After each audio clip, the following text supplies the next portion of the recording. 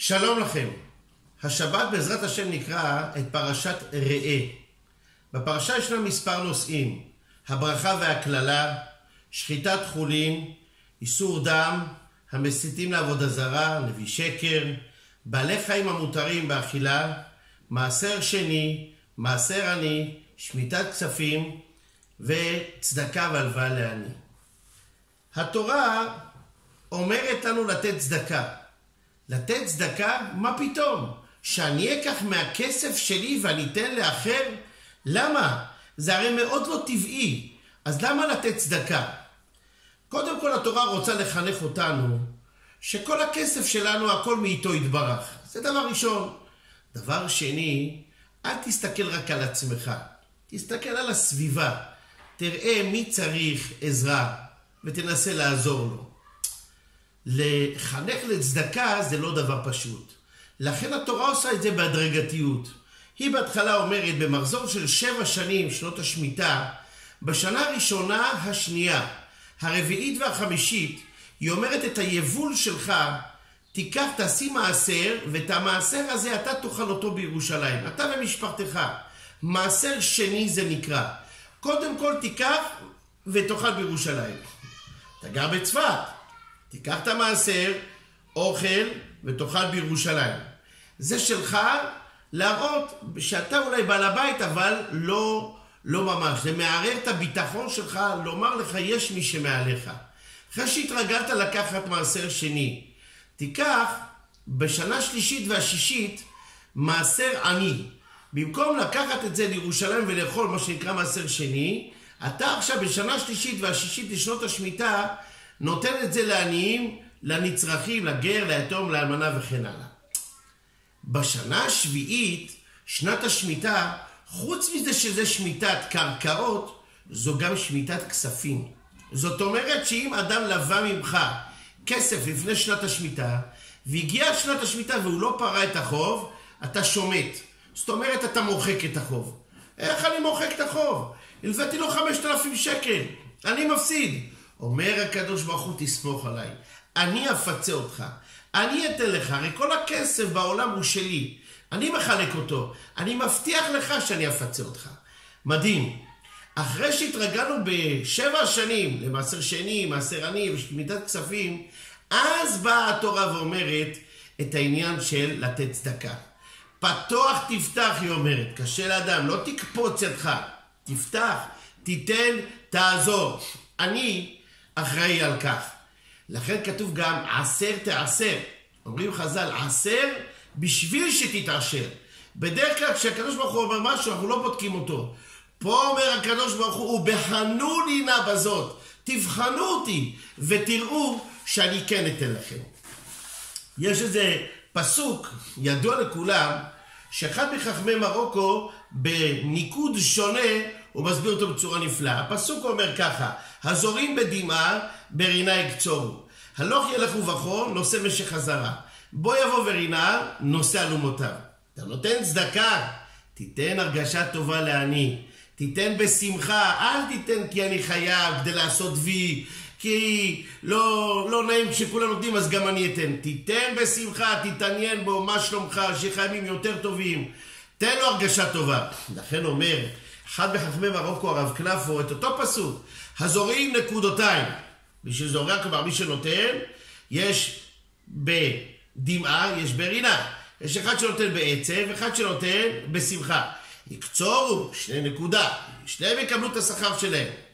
זה שנתן בעצב, הלוך ילך ובכו, נתן בעצב, יקבל מה שנתן, נושא משך חזרה. מה לקח? ייתן, נתן מאה, ייתן מאה, קבל מאה, נתן מאתיים, יקבל מאתיים. זה שנתן בשמחה, בו יבוא ברינה. אומר הפסוק, נושא אלומותיו יקבל כפל כפליים. למה? כי הוא גם נתן וגם בשמחה. כפל כפליים, הוא נשא זרעים, קיבל אלומות. לכן אנחנו אומרים כל בוקר, בתפילת שחרית, זורע צדקות, מצמיח ישועות.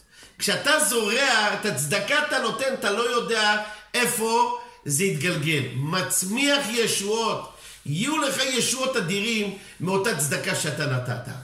אחד הסיפורים היותר מופלאים ומרגשים שקראתי בנושא הזה, מספר כך: פרופסור ארתור מילס, מומחה מנתח לב, בעל מרכז רפואי גדול מאוד בארצות הברית, מיליונר שמעסיק צוות ענק של רופאים, כך הוא מספר. אני גדלתי בשכונת קראון הייטס בניו יורק. הייתי יתום מאבא, אימא שלי טיפלה בי, היינו משפחה ענייה מאוד. לעתים לא היה לאכול כלום בבית, פשוט מקרר ריק ואין לחם. לפעמים דילגתי על ארוחת ערב, לפעמים דילגתי על ארוחת בוקר, ולפעמים, כן, כן, גם על שניהם. הייתי תלמיד בכיתה ד', תלמיד מצטיין. בוקר אחד, אחרי שלא אכלתי לא ארוחת ערב ולא ארוחת בוקר, לא יכולתי להתרכז, הבטן קרקרה לי. אמא שלי השתדלה, אבל מה לעשות, לא היה. חשבתי לעצמי, אני לא יכול להמשיך ללמוד ככה. בהפסקה, אני אצא מכותלי בית הספר, ואני אלך לאחד הבניינים היותר יפים בסמיכות לבית הספר, אנקוש על דלת, מבקש פרוסת לחם. בשבילם זה רק פרוסה, בשבילי זה הרבה מאוד. אמרתי ועשיתי. יצאתי, הלכתי לאחד הבניינים, עליתי קומה ראשונה, ראיתי שכתוב על הדלת מצד שמאל, משפחת מוריס ג'קסון. אמרתי לעצמי, זה נשמע לי טוב, נקשתי כשאני ממש מתרגש, חרד ובוודאי נבוך מאוד. פתאום נפתחה הדלת ועלמה צעירה עם שתי צמות, חיננית מאוד, חיוורת, פתחה ואמרה, וואי, חשבתי שזה הדבר. ואני הייתי כל כך נבוך, אולי לומדת בבית הספר שלי, אין לי מושג, אני לא מכיר אותה. שאלתי, אפשר לשתות בבקשה כוס מים? היא חייכה ואמרה, אצלנו לא שותים מים, שותים חלב. חשבתי לעצמי, חלב הרבה זמן מאוד לא שתיתי. ואחרי כמה שניות היא הופיעה עם כוס חלב וצלחת עם ארבע עוגיות, והוסיפה, אצלנו כששותים חלב אוכלים עוגיות. הרבה זמן לא אכלתי עוגיה. לקחתי עוגיה, שתיתי, כל כך הודיתי לה, ואז אמרתי לה, העוגיה הייתה מאוד טעימה, אפשר עוד אחת? היא שוב חייכה חיוך כזה מתוק, ואמרה, את כל העוגיות הבאתי בשבילך, הן שלך. קוראים לי רוזלין, איך קוראים לך?